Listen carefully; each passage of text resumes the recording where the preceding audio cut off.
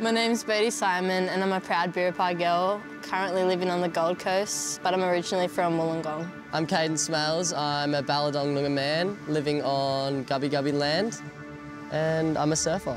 Hey, I'm Joe, I'm a proud Bundjalung man. I currently live on Gumbaynggirr country in Coffs Harbour.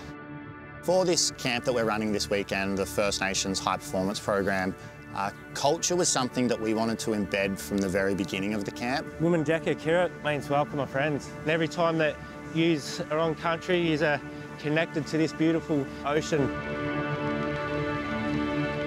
It's so beautiful down here at Phillip. Like, I've never been here before, so being here with all the boys and all the girls and brothers and sisters and I really love the untouched feeling of Phillip and how they've really looked after this land. At Phillip Island, I was really surprised with how like warm it was. I thought it would be like heaps colder because it's so far down the coast from where we are. Coming to the first car park at Woolamai is a surfboard there that represents all our surfers on the island as they're connected in in ways like our First Nations people. The message there is about preserving, respecting, preserving our country, trying to leave a message for our young generation is always think about the footprint that you're leaving for your grandkids. That's what it's about.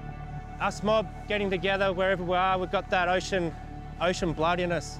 And hopefully today he's got some pretty deadly waves. There's plenty of swell. Looks like it's cleaning up a little bit actually. I'm a saltwater girl, so when I'm in the ocean, I feel so connected to my culture and to my people, my ancestors. Yeah, it makes me happy.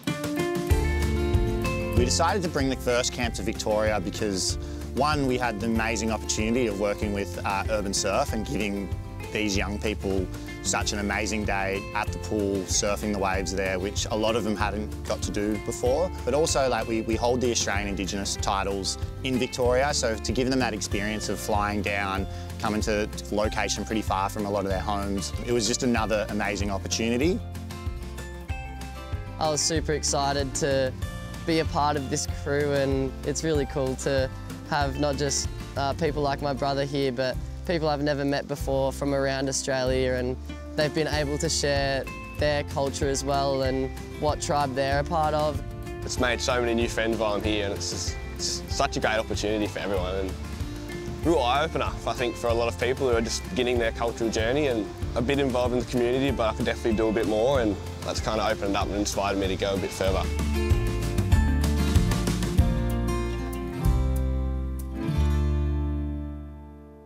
At day one at URBNSURF, we had our Billabong team rider Otis Carey, who is an amazing Indigenous surfer, but also an Indigenous surfer that so many of these kids look up to. He's arguably one of Australia's best free surfers. The ranges that he puts out with Billabong with all his artwork on it, like does so much to promote our culture. So to have Otis at URBNSURF was such an amazing element to the camp, um, and it really meant a lot to these kids.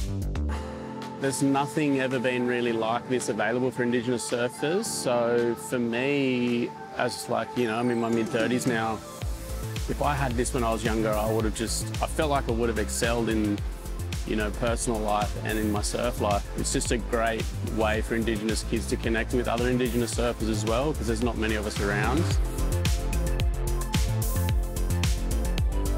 URBNSURF's just such a good place to practice and it's awesome that we have people like Clancy down here to give us tips and make us better surfers, so it's really awesome. Perfect wave over and over and over again and you could just pretty much just do whatever you wanted. If you had a section or a kind of a turn you wanted to learn, you could just do you do it over and over again until you got it perfect. We all had it to ourselves. Like we had one, we surfed the left when we first got there, and then the right like later on in the day and it was just so sick. Like we had it to ourselves, just catching wave after wave, and yeah, it was so fun. Perfect wave.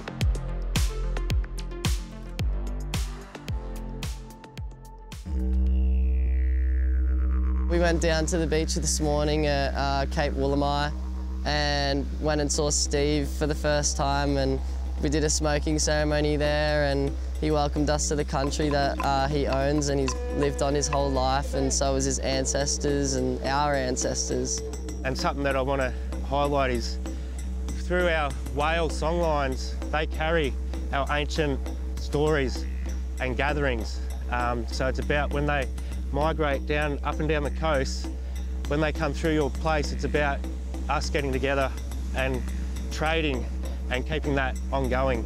We just did a welcome to country smoking ceremony, cleansing ceremony for all the participants so uh, they can leave any bad um, energy behind in the smoke, but also too bringing waters from their shorelines and bringing them together, mixing them together and through a ceremony and bringing our ancestors together as well.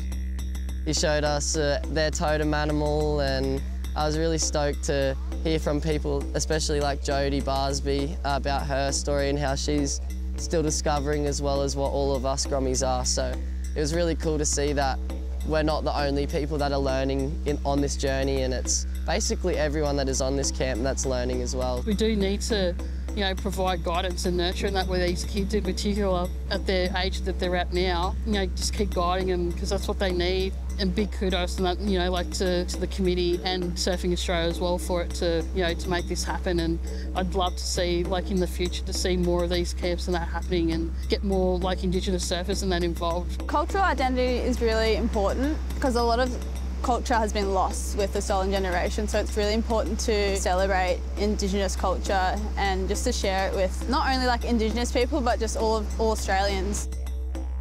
We also had a, a really cool experience with, with Kyle Vander-Kuyp.